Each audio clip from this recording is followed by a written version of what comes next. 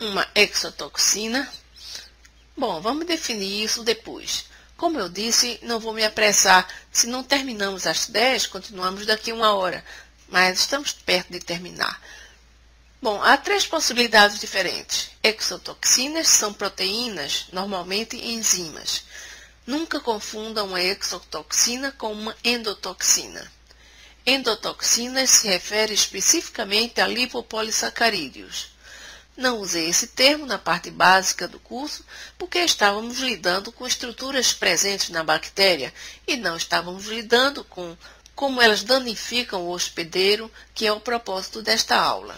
Portanto, lipopolissacarídeos, e eu não vou falar novamente sobre o que é lipopolissacarídeo. Você volte àquela informação se desejar.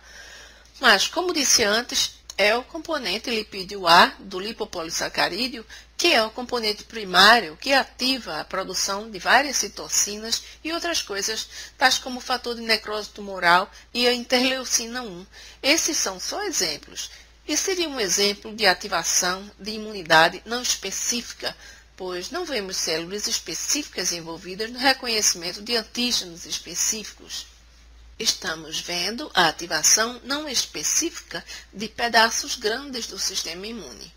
A imunidade específica também participa. Por exemplo, o Mycobacterium tuberculosis, agente causador da tuberculose, não produz nenhuma exotoxina que se saiba, se ele estivesse crescendo no seu corpo e não em grandes quantidades, você provavelmente não notaria.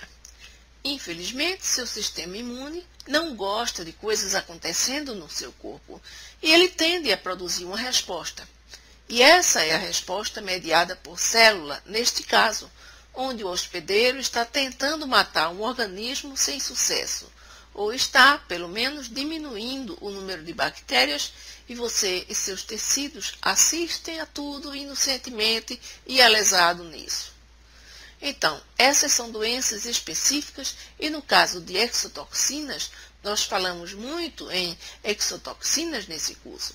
Não porque exotoxinas são mais importantes do que endotoxinas ou do que a imunidade específica. É que organismos específicos produzem exotoxinas específicas, porque elas são enzimas e elas são diferentes.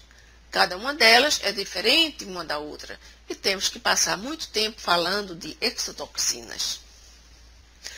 Há apenas um tipo de endotoxina, que é o lipopolissacarídeo, e falamos isso na apostila. Eu vou falar mais tarde que certas outras moléculas bacterianas, tais como os peptidoglicanos, têm atividades do tipo de endotoxinas. Mas um lipopolissacarídeo é um lipopolissacarídeo e um peptidoglicano é um peptidoglicano, de uma maneira geral. Talvez haja uma exceção, e a Karen vai falar na citotoxina traqueana do Bordetella pertussis. Mas, falando de um modo geral, um lipopolissacarídeo é um lipopolissacarídeo e um peptidoglicano é um peptidoglicano. Se você disser isso para um organismo, ele está se referindo a todos os organismos.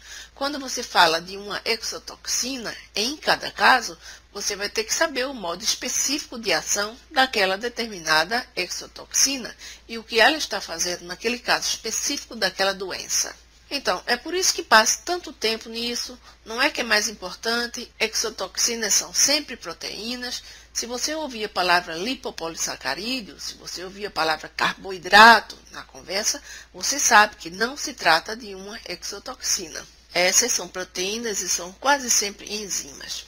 A exceção a toda regra, e vou dar um ou dois exemplos depois, mas elas são sempre proteínas, na maioria das vezes, sendo enzimas no grosso. Elas podem destruir estruturas celulares ou podem destruir a matriz extracelular.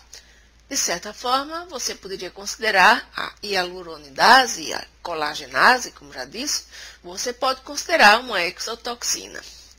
Mas, independente disso, exotoxinas são destrutivas e destroem e danificam coisas e células, elas matam células. É isso que é uma exotoxina, e é por isso que falamos tanto nelas devido ao modo de ação das diferentes exotoxinas e serem elas diferentes de um organismo para o outro.